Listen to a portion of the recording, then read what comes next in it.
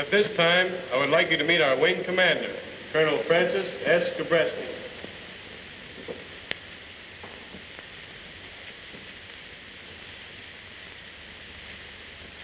Gentlemen, I wish to welcome you to the 51st Fighter Interceptor Wing in Korea.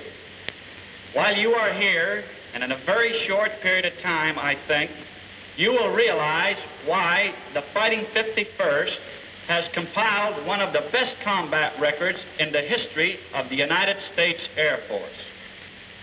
You will quickly acquire a team spirit, for teamwork is the keynote of our success.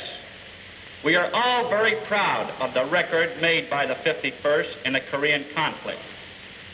Since the beginning of hostilities, this organization has been in the forefront of the aerial war. Our mission of providing cover for the fighter bombers is a vital part of the United Nations effort in the air.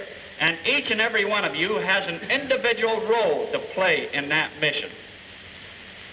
The continued success of our mission depends entirely upon you and your fellow members of the wing.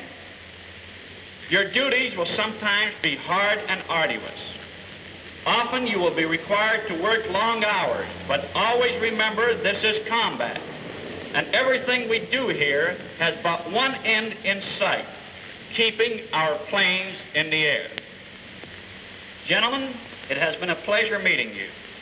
I know that you will enjoy your tour with us, and I'm sure that you will take a lot of personal pride in the future accomplishments of the 51st. I wish you the best of luck in your new assignment.